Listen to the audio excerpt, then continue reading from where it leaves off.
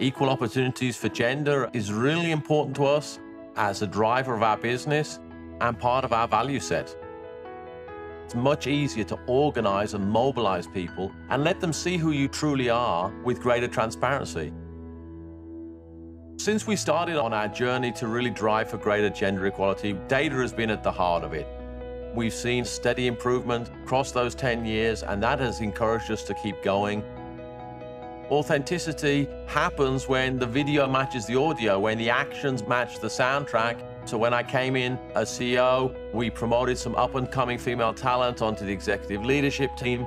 We need to focus on making Coke a great place for people to do their personal best, to be able to grow, to feel valued, and to have respect.